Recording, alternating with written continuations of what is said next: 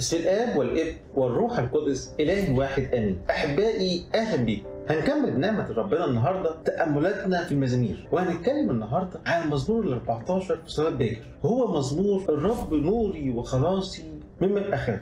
الرب حزن حياتي ممن أرتعب وده يا حبايبي مزمور 26 المزمور ده كتبه داود النبي وأغلب المفسرين اعتمدوا على عنوان المكتوب فيه مزمور لداود قبل أن يمسح ملكا وقالوا إن كتبه في الفترة اللي كان هربان فيها من شاول الملك قبل ما يتمسح ملك بشكل رسمي. بيبتدي داود النبي مزموره بالكلام بمنتهى الثقة والثبات والقوة إن ربنا هو النور اللي بيحميه من حتمة الخطية وهو الخلاص الأبدي ليه من الهلاك اللي بيتمناه ليه اعدائه فمش ممكن يخاف أو يرتعب من أي حد أو من أي حاجة. وهو بيقول كده لأن فيه رصيد كبير من الثقة. في عمل الله عند داود النبي. علشان كده بيقول إن لو قامت عليه جيوش كتيرة ولو قامت عليه حروب صعبة فمش ممكن يخاف أو يتهز. ودي يا حبايبي حلاوة العشرة مع ربنا. لما الإنسان يبقى عارف اللي ربنا عمله معاه وواثق إن مش ممكن يسيبه لكنه هيفضل يتمجد معاه على طول. زي بابا كرولوس ما قال الله الذي ابتدأ معك الطريق. لن يتركك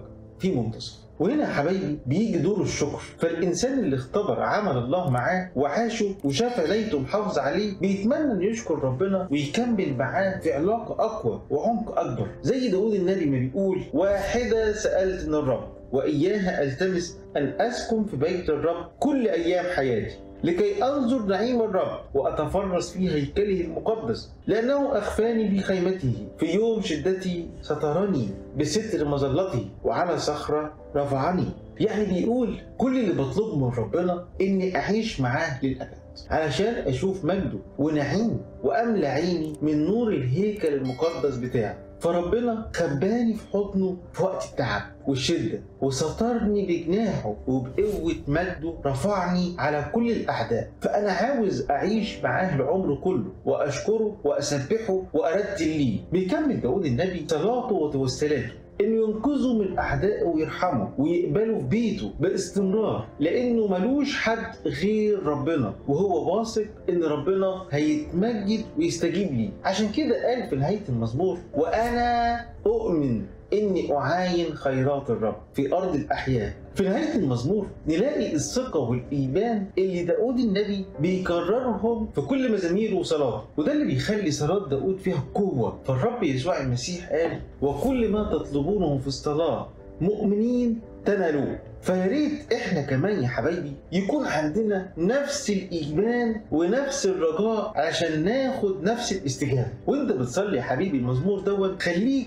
واثق بقوة ربنا وحفظه وافتكر كل المواقف اللي ربنا نجاك فيها من كل شر. واشكره عليها وخليها رصيد يقويك في وقت شدتك. وأطلب من ربنا يسمعك ويستجيب ليك في وحدتك لأنك مالكش غيره. خليك واثق إن هيتمجد هيتمجد. هيتمجد معاك. فانتظر الرب وخلي قلبك شديد. ربنا يكون معاكم. يا ولادي وبناتي الغاليين يحافظ عليكم ويفرح قلوبكم. أشوفكم المرة الجاية.